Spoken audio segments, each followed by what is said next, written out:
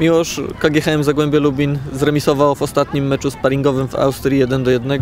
Ty strzeliłeś ładną bramkę. E, Austriacy postawili wam dzisiaj trudne warunki? Na pewno postawili nam trudne warunki, ale wydaje mi się, że byliśmy dużo lepszym zespołem, panowaliśmy nad piłką dużo lepiej niż przeciwnicy. Strzeliśmy bramkę, dużo akcji robiliśmy, no ale szkoda tej straconej bramki ze stałego fragmentu.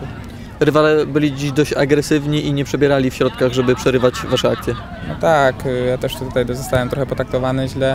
Y, Adi Błąd też y, coś ma z kostką, no niestety no, to jest sparring, ale przeciwnicy niestety nie wywiązali się dobrze z tego zadania. Jak już wspominałem, ostatni mecz na zgrupowaniu w Austrii. Miłosz, czujecie zmęczenie, czy łapiecie już powoli świeżość przed ligą?